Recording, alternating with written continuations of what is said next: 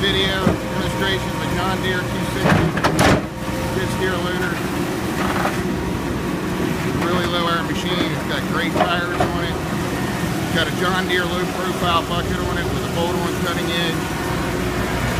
Got the weight kit. And those tires. She runs as good as she looks.